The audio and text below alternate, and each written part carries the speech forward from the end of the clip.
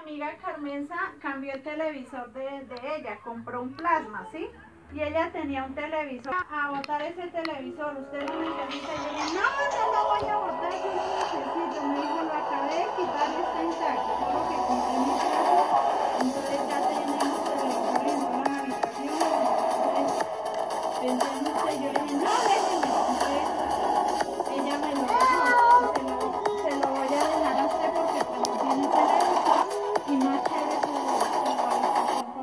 horas y no